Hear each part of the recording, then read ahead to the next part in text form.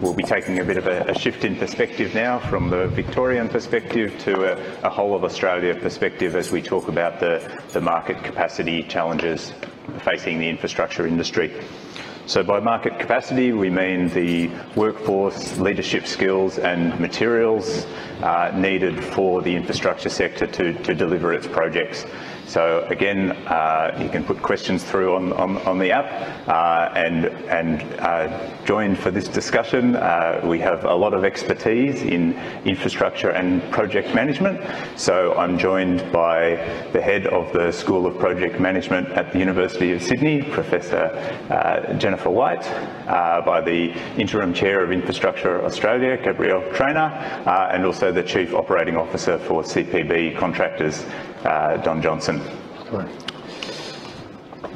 So the capacity of the market to deliver the, the infrastructure that, that Australia needs is an important issue as the, the sector is squeezed uh, between skill shortages and uh, supply chain constraints on the one hand and demand for, for substantial amounts of, of new infrastructure as we've, as we've heard from the, the state and, and federal ministers this morning.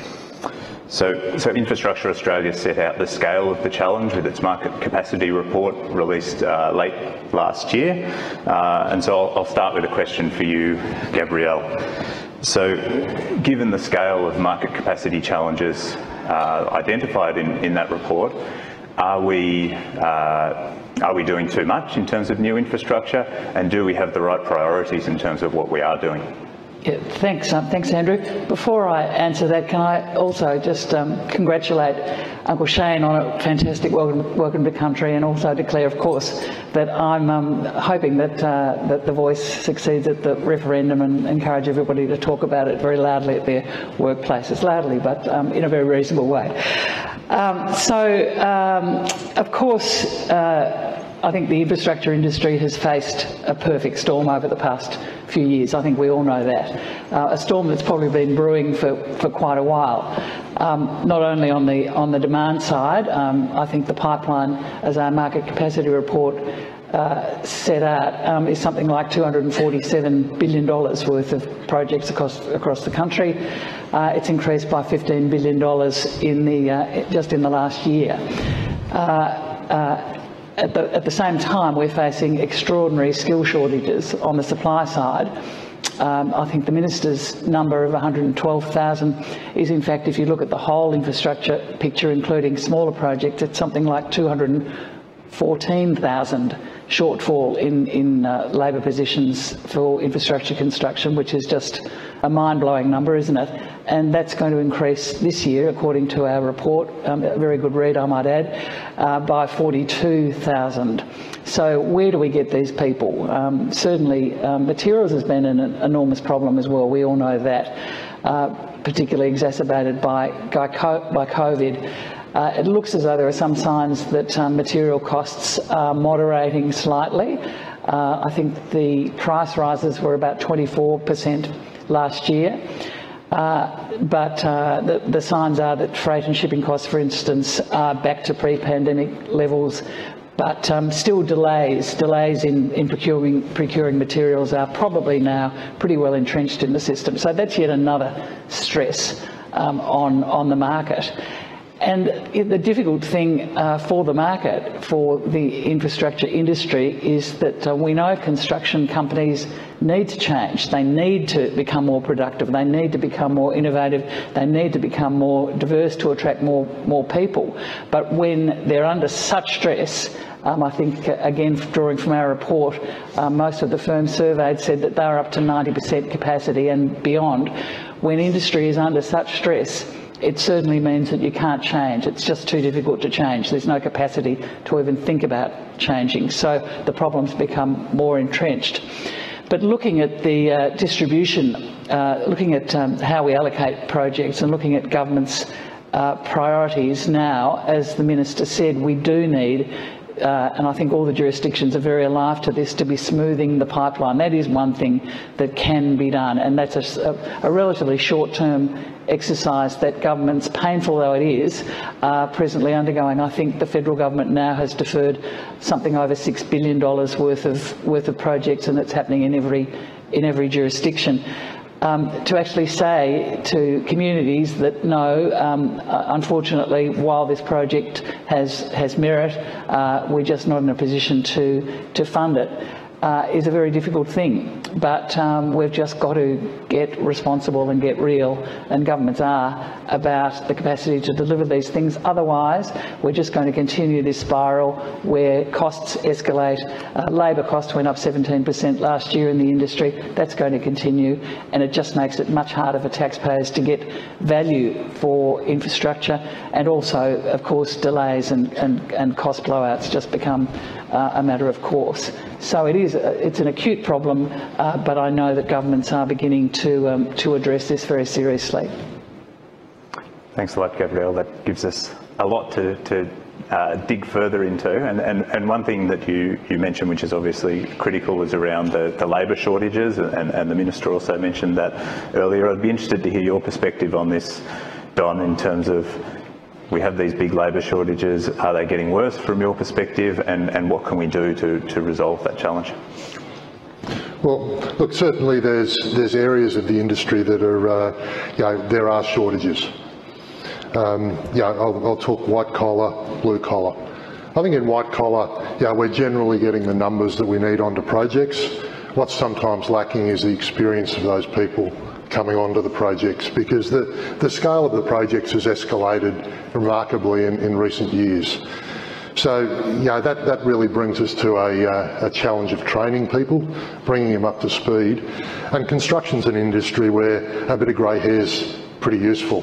Know, you've seen things before. So younger people we can train in the academic part of it, but to see things, that takes a bit longer.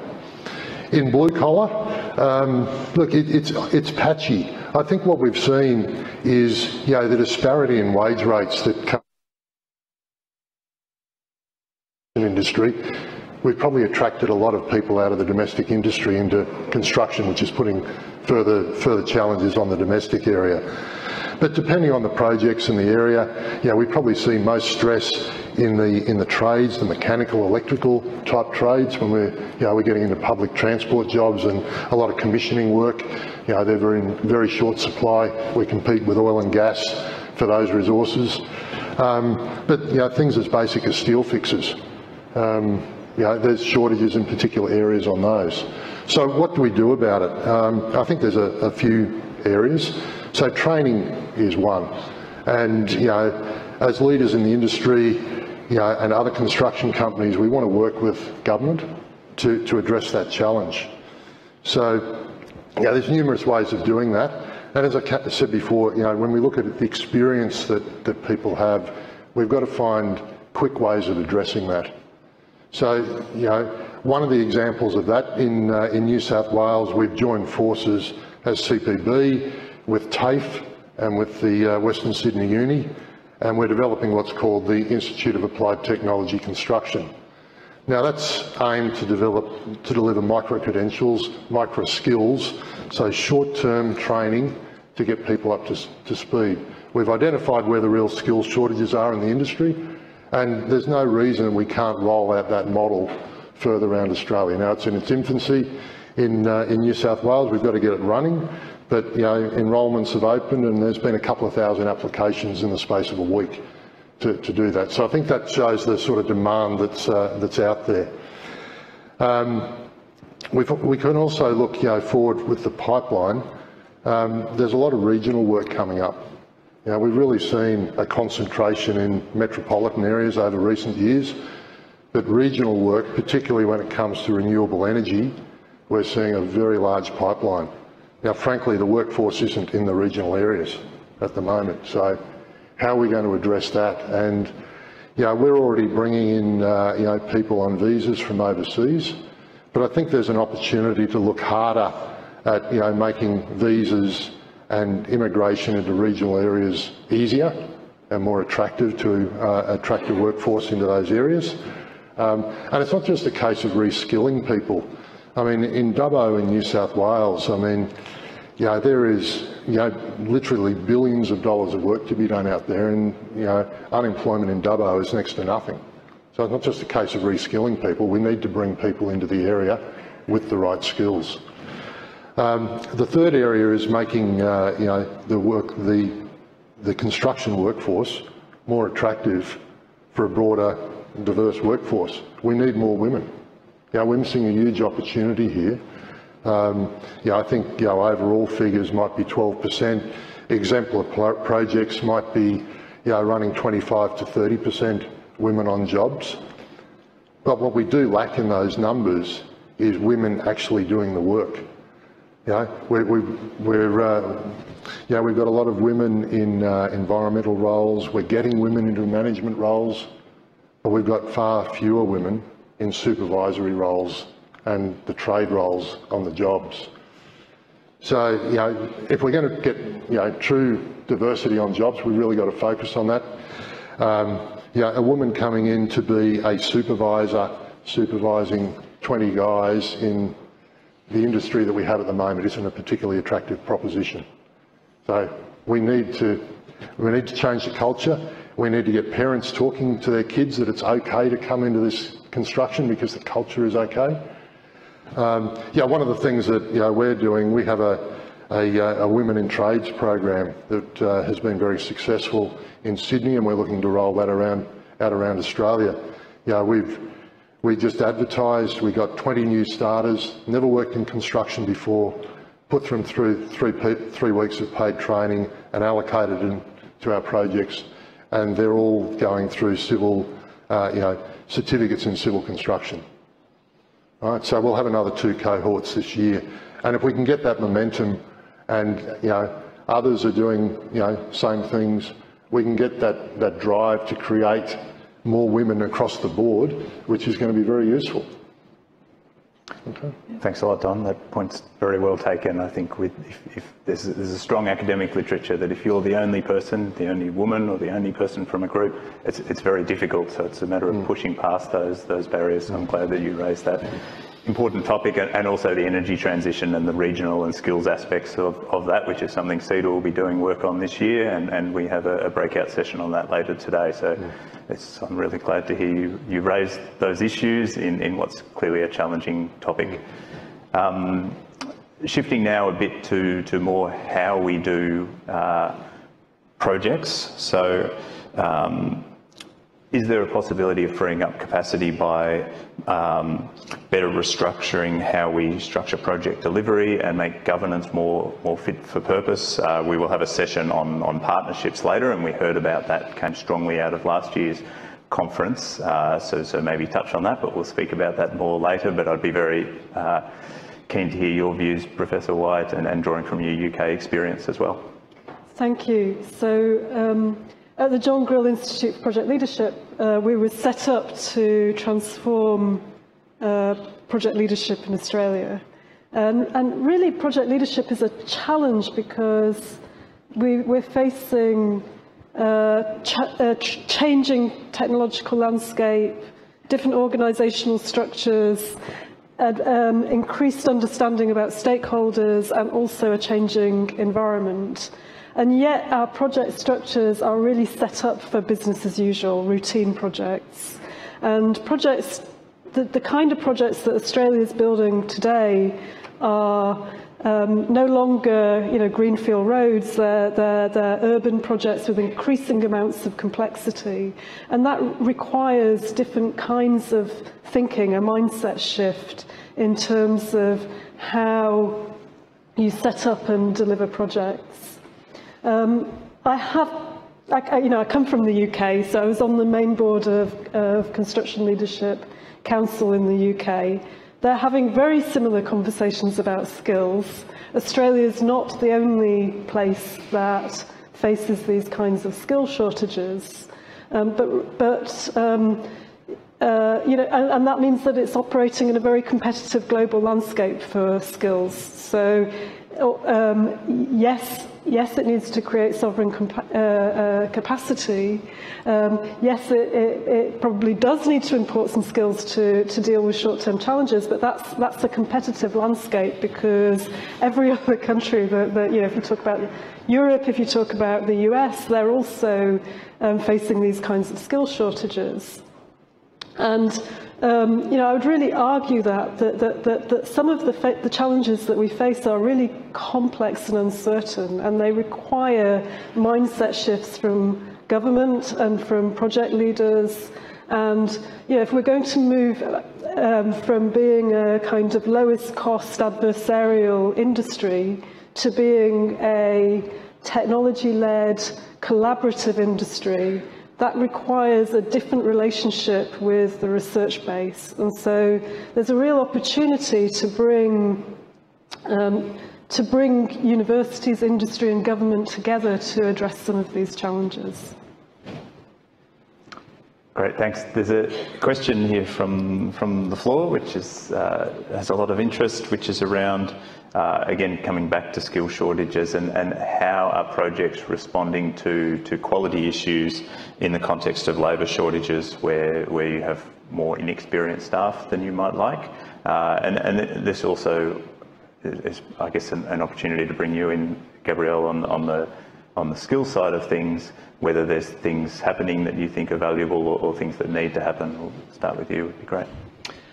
Uh, it is, you know, a, a, really live issue on sites everywhere. But um, if you can get people to come in at entry level, they need, a, you know, really significant experience to guide them and supervise them.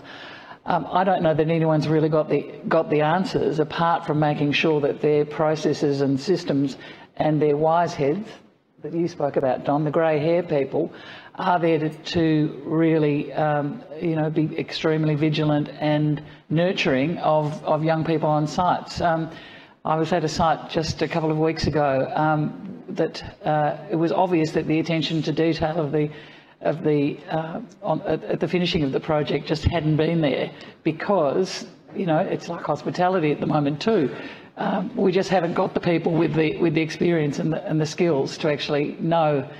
They don't know what they don't know. To, to, to, it's it's it is a real problem. Um, I think things like the initiatives that you're talking about, Don, with micro credentials, um, things like uh, uh, all the emphasis that's being placed on skills and getting more apprentices into the system with a bit of background is going to be um, a longer term solution. But in the short term, it, it, it really is very difficult, and it's facing um, it's facing everyone in the construction industry at all at all levels. But good processes, good systems, and and good good supervision. Um, is probably about the only routine sort of answer that you can um, that you can apply to this problem at the moment. Look, I, I might just jump in too. I mean, you know, so much of this is about training. And, you know, we, we just got an obligation to, to invest. I mean, I always go back to the, you know, the, the quote from Henry Ford, where he, said the, the only worse, the only thing worse than training your employees and having them leave is not training them and having them stay. Right? so, yeah, I, I, think we've got to be guided by that. You know, so um, on projects, what do we do? You know, we, we try to set up teams around a core, you know, a core of experience and bring newcomers in to learn off that core. Now that becomes harder as uh, you know, the more stretched. But unless you do that, if you just have a, a, team of newbies, you're going to get those quality problems that are discussed. Um, but training our people, as I said before, some of the initiatives, and they're, they're more initiatives for the industry. But you know, on our projects, I mean, our large projects, North East Link in, uh, in Melbourne, Westgate, WestConnex in, in Sydney, they've all got training academies attached to them. You know, and we expand the induction program for everyone coming through there. Wherever possible, we put people under a certificate in civil construction. We train them in the basics of doing the jobs. And we, we've trained tens of thousands of people with our joint venture partners. Now, in addition to that, um, uh, what we've got to do, hang on, I've just lost my train of thought with, with where I was going with that. Um, we're, we're, looking at our engineers as well, right? So, you know, most engineers that come out of uni are very well trained technically, but there's a lot more to make them adapted to the construction industry. You know, I mean, people skills for once, you, you don't get a lot of that in engineering school, but you need that to, to lead people on projects. Um, you know, so I think most of the big contractors are putting their teams through appropriate training programs. I know in, in CPB, you know, we've got about 1,200 site engineers, project engineers across the company. We're putting every one of those engineers through eight days of training across seven modules this year to bring them up to speed on things like quality, commercial, you know, design, and, and importantly, you know, going forward, uh, digital, which is where the industry's going. So it just doesn't happen by osmosis on jobs. You get a bit of that, but you've got to force the issue by uh, actually getting out there and training people. When I studied engineering, we, we had to do introduction to engineering management, and we used to joke that that was about teaching us to be like normal human beings. So, so what you say rings true. Um, just, just while we're talking about engineers, there's a, a, question from the floor, and it, it, comes back to the gender diversity point you raised earlier, Don, uh, that, that, less than 16% of, of graduates in engineering are, are female. Um, so sort of going back when, when people are younger, earlier on through the educational uh, process. Are you seeing initiatives out there to, to address that, or, or, or, should, should more be done there? I'll start with you, Don, and then others. Oh, definitely more needs to be done. You know, as I said, I think part of it goes to the perceived culture in the industry, and it may not just be perceived. Some of it is actually the culture. Um, you know, there, there's probably um, easier work sites or workplaces for, for women to work and we need to change that. And I know that you know some of the things you see on projects just shouldn't be and are not tolerated in this day and age. And and we've uh, we've removed some people off jobs for making the the workplace uncomfortable for women to, to work. So that that's part of it. That that that cultural piece you know, to, to change it. But then you've got to get in. And I mean, I've heard comments recently. There's a there's a lot of uh, a lot of people working in schools to you know year nine to twelve to try and demonstrate that uh, you know there are fulfilling careers for women in construction. And oftentimes it's the, the parents that we've got to get through. Oftentimes it's the career officers in, in the schools that are saying, why would you why would you want to go and be an electrical apprentice? I mean, that, that's not a, you know, a job for a woman. So we've got to break down, those barriers because we need to help young people make their own decisions about where they want to go and not have these prejudices uh, put upon them. Can I just um, put on my hat um, as the chair of a thing called the Construction Industry Culture Task Force, uh, which is, I think we're four years into a two-year project as you know, Tim. Um, Tim Reardon was one of the people at the at the very forefront of this. It's a collaboration uh, between Victoria and, and, New South Wales governments and uh, the ACA, and we have, um, you'll be pleased to know, Jennifer, a team of academics, workplace academics working with us. And what we've tried to focus on is this, this point of culture in the workplace in the construction industry. We know that there are probably three interrelated um, issues in the industry to do with commerciality and contracting, to do with capability and, and capacity, and that goes to the point of you know trying to encourage young people into the industry from an early age. Uh, but the culture of the industry we're focused on as a, as a discrete item um, under the auspices of a thing called the Construction Industry Leadership Forum. And what we've done is over the past couple of years develop um, what we're calling a culture standard. There have been enormous um, efforts over many, many years uh, focusing on things like gender diversity. You have NAWIC who's been working on that for 25 years. You've had people working very hard on mental health and wellbeing in the industry, mates and construction, IncoLink, many, many initiatives across, across those two domains. Uh, but nothing has really changed. Nothing has really moved the needle. Women who come into the industry through programs like, um, you know, um, the um, skills training uh, uh, initiatives in New South Wales, for instance, uh, they find an industry that's unfriendly to them. I know the, um, the ETU did a, an interesting study last year looking at some basic things to do with amenities for women on sites. They called it Nowhere to Go because women had to there were many stories of women having to find toilets, you know, 20 minutes away from where, where the site was. They just, there were no amenities for women. It boils down to really simple things like that. But what the culture standard is trying to do is actually make a step change and use the government procurement process to, to ask proponents to actually try and address these three interrelated elements, which are gender diversity initiatives, well-being and particularly mental health initiatives on work sites, but very importantly, working hours. And all our research is telling us that one of the reasons people, young people particularly now, not only women, find the industry a very difficult place to work and they don't even contemplate going into it, or if they do, they leave very quickly, is the, the, the working hours. Now, you know, I just talked earlier about an industry under great stress. It becomes a self-fulfilling problem that people who are expected to work 60, 70, 80 hours a week, and that is still quite commonplace, uh, are just not in a position to work safely. They're not in a position to feel that this is an attractive industry. They're not feeling work-life balance. It contributes to stress. You know, it is just uh, all the research is saying, and all our experience with pilot projects now, uh, trying to work five-day weeks with 50-hour caps is saying that this is something that actually can shift perceptions of the industry, can shift capacity in the industry, can shift the attractiveness of the industry to young women and, and, and young men uh, as well who, you know, where possible, want to work Monday to Friday. And, you know, people in the industry used to say, well, that's impossible. We've always worked Saturdays. There are plenty of examples now where five day week and Monday to Friday are being experimented with very successfully. With the unions have been very supportive of this, I might say as well. And there, there is um, there, there, are ways of, of managing these um, these pilot projects that we've seen, which is showing that there's no impact on um, on take-home pay for workers, and there's productivity dividend.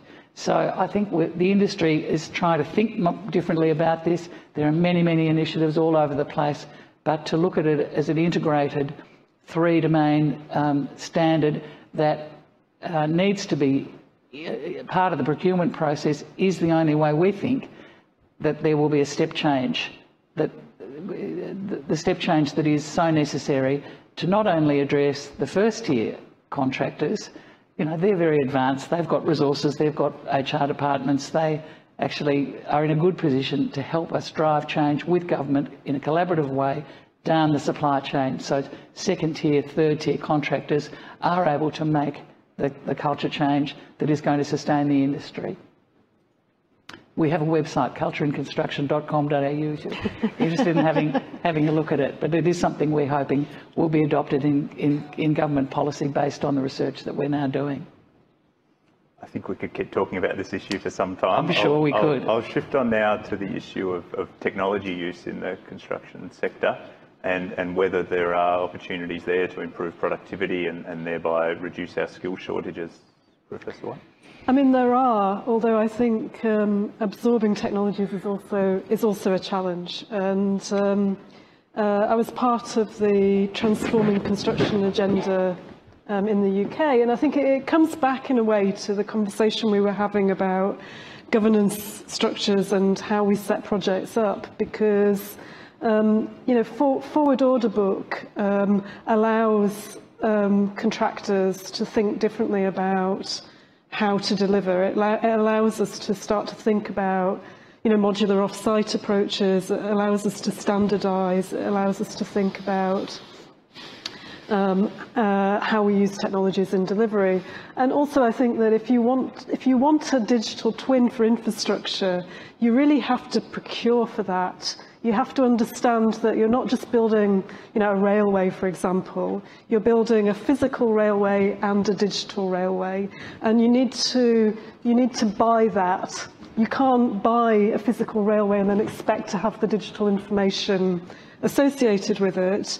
You, you, we need to sort of change what we see the sector as delivering, and that needs to be heavily written into how, how projects are set up, how they're procured, how we think about them. And then I think there's real opportunities to use digital information to clean it up, to start to use project analytics, to start to see ourselves as a, as a high-tech industry But that, that really does need to um, start in, in terms of how we start to think about the pipeline and how we start to shape that pipeline.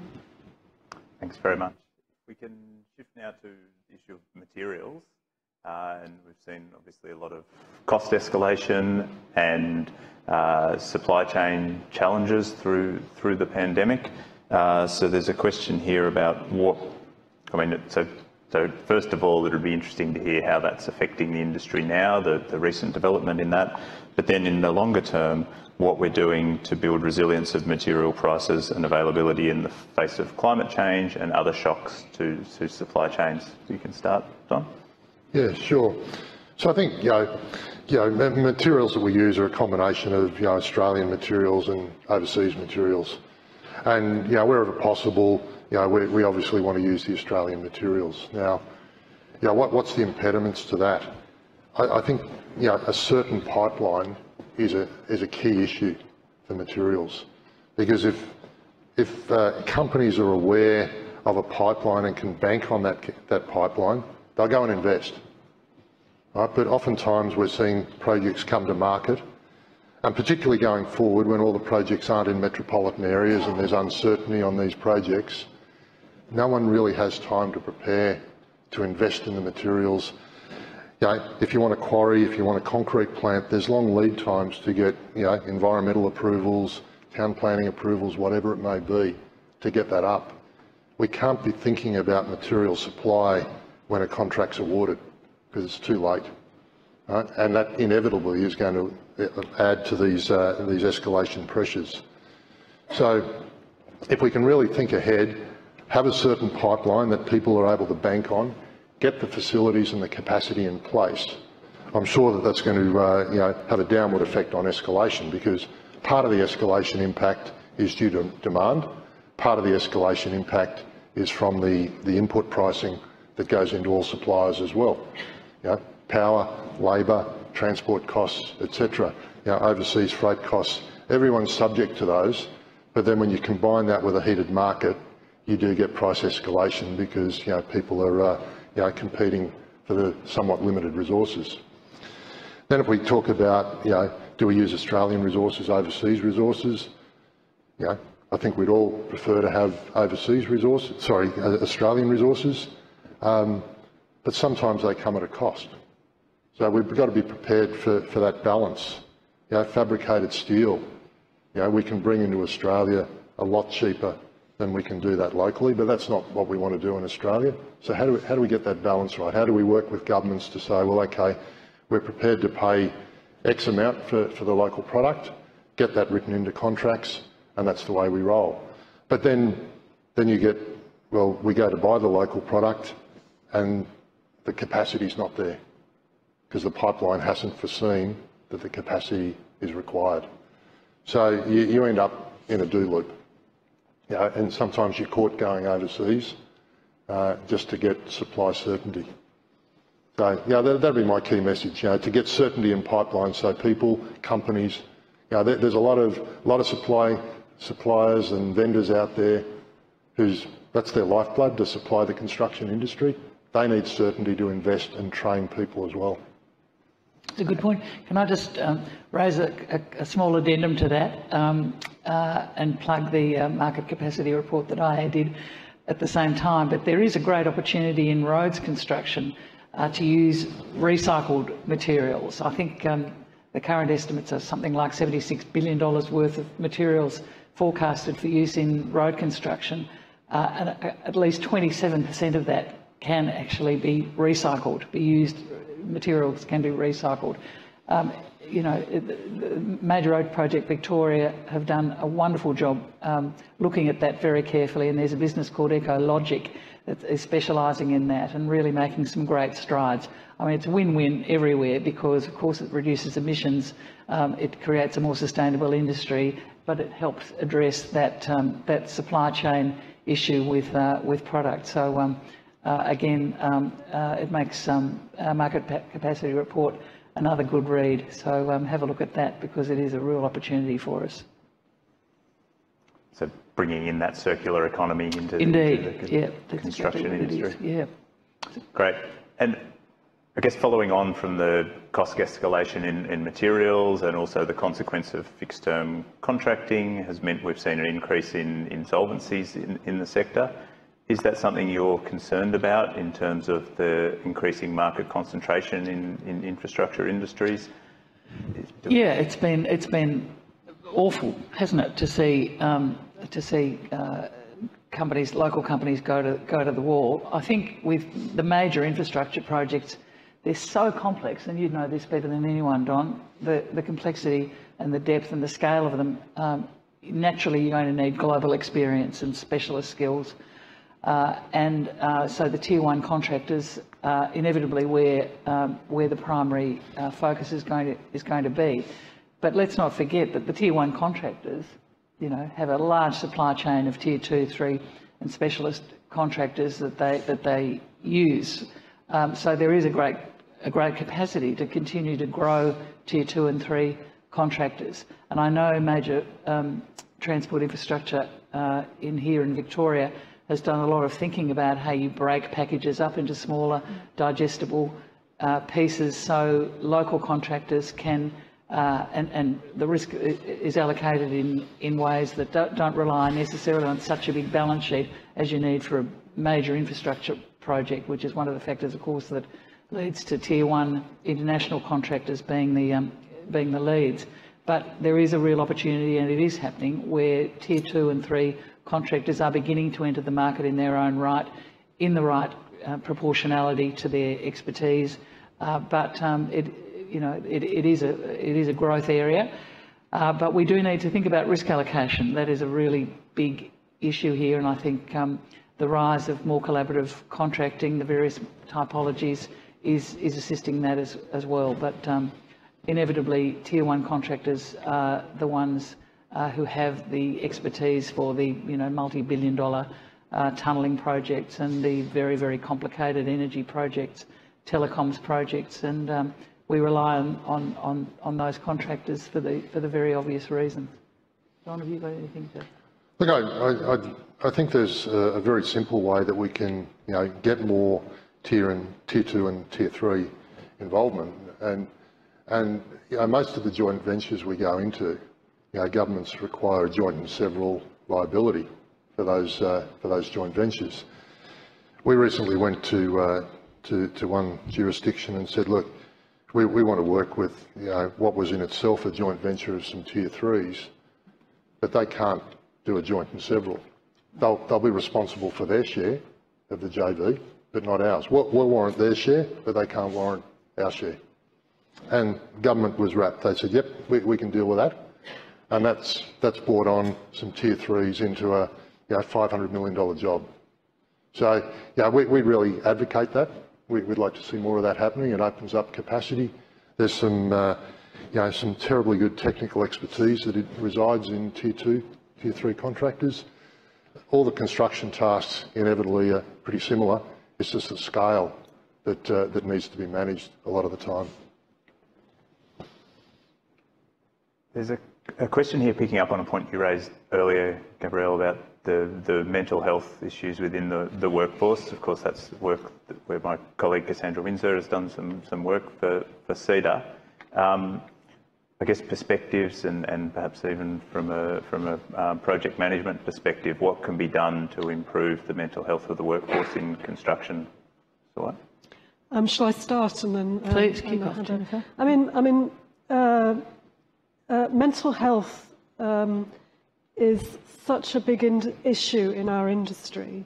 And, you know, I, I think um, uh, it is it is, it is, it's really bound up in that set of reforms that you were talking about in terms of the cultural shift of the industry, because I think if we can improve mental health, if we can improve work, work-life balance, then we also attract other people into the industry. Um, what, what we were doing in the UK was, was, was really looking at that off-site opportunity to allow people to um, to, to live more locally. Because I think the, the and, and Australia has a really big problem with the fly-out kind of culture because because there you've got the challenge of people being away from their networks, away from their support networks, you know, living on a construction site, Um, you know, and, and so the more that you can take the work into environments where people can stay with their support networks, the better, really, for mental health. And so, you know, it, it's an area that, that, that there's been a lot of work in, I know in Australia, um, also in the UK, in trying to put in mental health first aiders, trying to really um, address that issue in our sector. And I think, you know, it, it, it's often the um, it's often safety that gets the headlines around people who have fatalities or life-changing injury, injuries at work. Um, but certainly in the UK, um, mental health and suicide was actually a bigger factor than the, the, the safety on site. And so safety on site, of course, is extremely important. But it's also important that we look at the well-being of our workforce in a longer-term way. Gabrielle. Just on that point, the local, the local statistic that always gives me an extraordinarily sharp intake of breath is that here in Australia, if you're a construction worker, you're six times more likely to die of suicide than you are of a workplace accident. And that's your point exactly, Jennifer, that, um, and someone put it to me this way, we shout safety, but we whisper health, particularly mental health. It's an area where we really do need to work, uh, work much harder. And that is one of the integral elements that I was talking about earlier um, in the culture standard. We, we have to think much, much more carefully about what we provide to our workers in terms of their well-being, physical health as well as, as well as mental health, but um, but particularly mental health. There's been a lot of great work that's been done um, so far, but the stress that the industry is under, the working hours, all these things are uh, interlocked. Uh, and, and, indeed, I think diversity too, because um, I think there's plenty of research that, uh, that suggests that the presence of women, more women, and more diverse people in, in, in um, workplaces actually moderates behaviours and and, and actually produces a more con conducive environment for people in which to, to work where the, these stress levels can be, can be moderated. So it is a really big challenge and that's one of the things that the culture standard focuses on and um, I think um, procurement is, is a possible solution to making sure that we can get a really good focus on mental health and culture more generally, including diversity in working hours uh, uh, as a requirement in, the, um, in, the, in, in, in big projects. It, it's an industry that's full of targets. Know, I mean, I, I don't know a client who doesn't want their job delivered sooner than is reasonable. Um, so, you know, you, you're up against it from the start, program-wise, overlain by you know, keeping people safe on job, the commercial relationships that exist up the line, down the line. Um, more, a, a lot of jobs now we're seeing um, you know, as we move from sort of greenfield to brownfield jobs in cities, you know, it's not just a nine to five, not that it ever was, but a, a daytime job. You know, it's increasingly rail possessions, road possessions out of hours, weekends, whatever, that are putting those demands on people, and they're unavoidable, you know, to avoid disrupting the community. So you put all that together, and you know, th there there is a lot to work through. We have to come up with solutions. We are.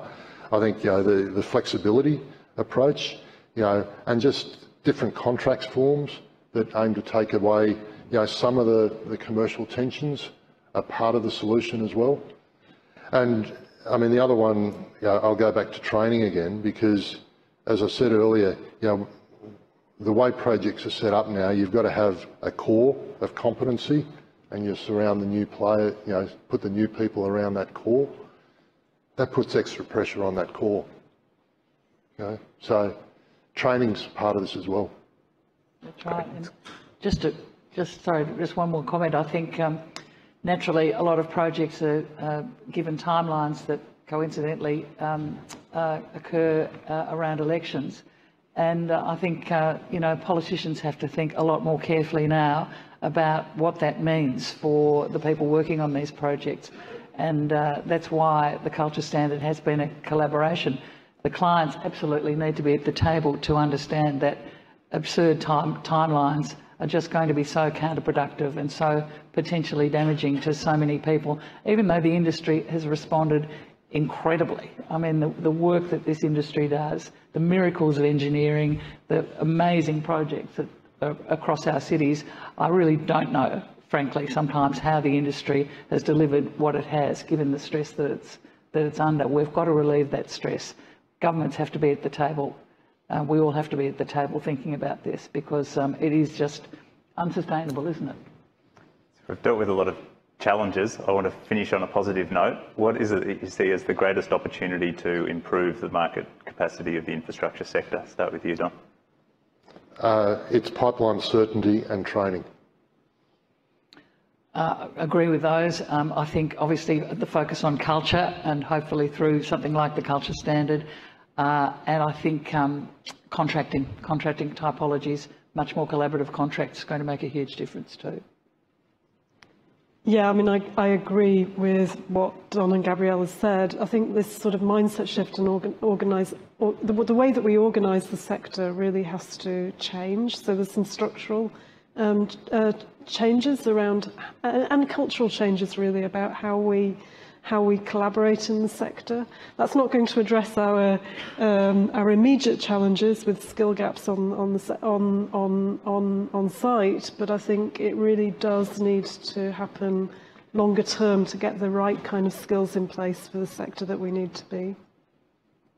Thank you very much. Uh, we're going to break for coffee now before we come back and get a Canadian uh, perspective on infrastructure performance, getting better infrastructure performance. But, but I'd like to first say thank you very much for the audience participation through the great questions. Uh, and I'd like you to join me in thanking Jennifer, Gabrielle and, and Don for the panel today.